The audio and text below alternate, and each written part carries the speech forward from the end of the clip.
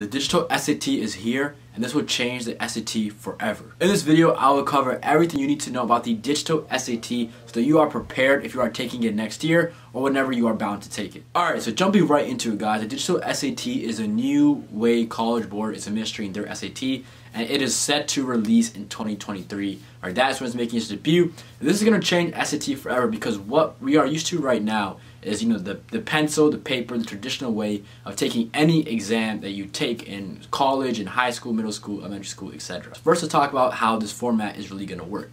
So the SAT still has its four primary sections, right? The SAT Math Calc, SAT Math Non-Calc, SAT Reading, and SAT Writing.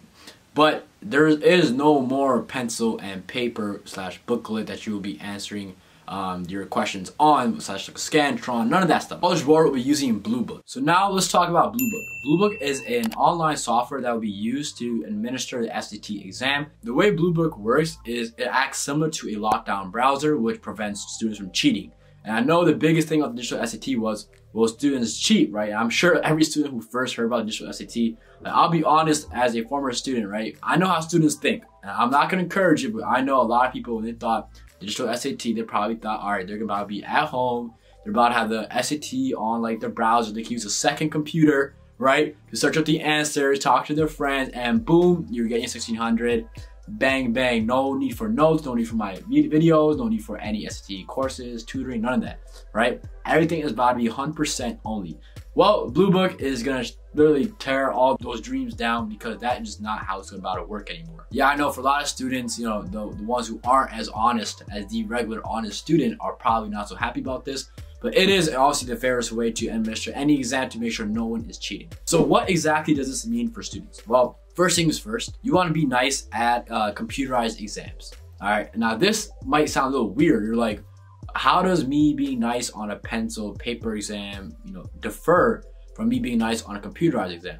Well, you'll be surprised how, you know, answering questions on a computer kind of changes everything. Because you have to understand one thing is like, you will still be given scratch paper, right, while you're taking the SAT online, so you can you know, do your work. But taking computerized exam is a little different because it's just not the traditional way. And some students, I know personally, when I, whenever I was studying on Khan Academy and taking those practice tests on Khan Academy, it was really weird for me to answer the question like on the actual browser versus like circling a question or answering on the Scantron.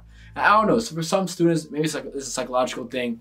It is a little weird, but hopefully that's not the case for you. You're not like me and you don't get tripped up by taking a computerized exam versus a pencil paper exam. So just to repeat guys, there will be no booklet, right? So you're doing work on like scratch paper, which you know is good for you guys. But the one thing is now, uh, like when you annotate right? Uh, you're reading, you can't really highlight the text with your pencil, right? Maybe there's a computer tool that you can use to highlight the text. That's different. That's not as fast as you using your hand to like underline something or circle something, make a quick note, right? And that, that part might be a little annoying for a lot of students. I know personally for ST reading, annotating now will be like definitely much harder because I no longer can just do the regular thing where I just, you know, write a quick note in the margins. Now I actually have to like write something on my scratch paper, line it up to what part of the text I'm talking about, and it's just not as efficient based on my personal beliefs. And this actually kind of sucks, and it's actually big news because look, I suck at SAT reading, and I'm sure a lot of students probably do too. Well, I sucked. I guess now I'm kind of good at it. But annotating literally saved my life. Saved my score, made me go from like a 620 to a 740.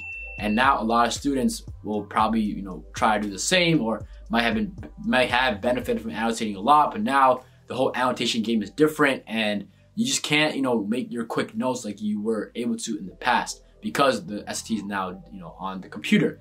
And how impactful will this be?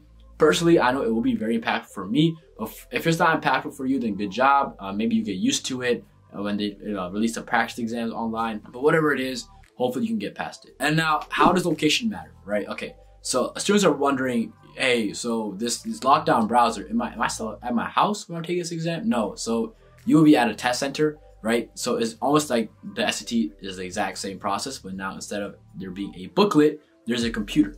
There's still a proctor who's gonna be watching you guys, right? You're still in a test center full of students taking the same exam, just now online with no, you know, booklet. And like I said, there's still someone walking you, make sure you're not cheating, make sure you're not, you know, asking your best buddy Bob out there, hey, what's the answer for number four on the math section on calc? Because I didn't, you know, use Ritesh's SAT math course to improve my scores. Now I need your help, right? the proctor will catch you. All right, so everything is literally the exact same minus the booklet, right? And now another thing people are wondering, well, how SAT scores change, right? Will the digital SAT result in like higher scores, lower scores. Because originally everyone thought that all right, the SAT is about to have so like a much higher scores because everyone's about to be at home taking this exam, and when you're at home, obviously you can cheat, you can get help, you can ask your friends, you can be on a group Zoom call, group FaceTime call, you know, dishing out ideas. That's not, that's no longer the case, right?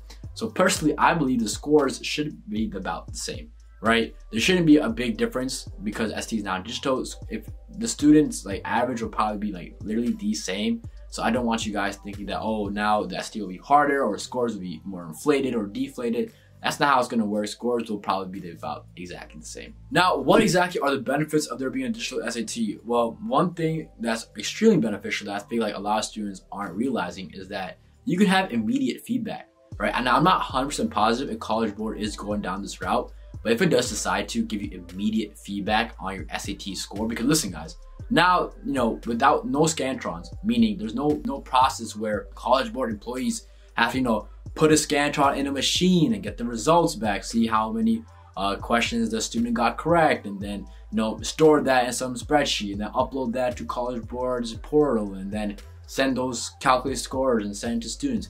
With the SAT now being, you know, digital, it's just like Khan Academy, right? When you take a practice exam on Khan Academy, you get your score right away, right after you finish and you get the breakdown of like, hey, what parts do you suck at? What part are you good at? You know, what can you improve? Everything was given straight to you, right?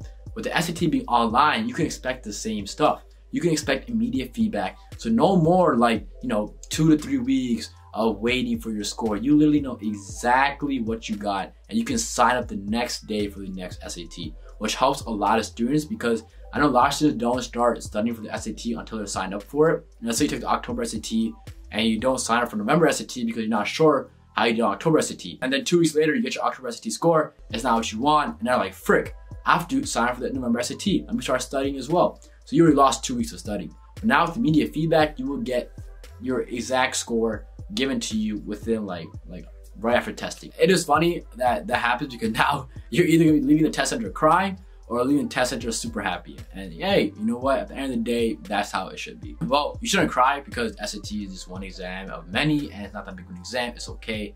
But yeah, don't cry, please. But if you want to make sure you get the highest SAT score you possibly can, be sure to check out my SAT math course link in the description below. If you guys have any questions about digital SAT or just want to claim good luck, comment down good luck on the comment section below. If you have any questions, then comment down your questions. Thank you all for watching. Peace. Thank you.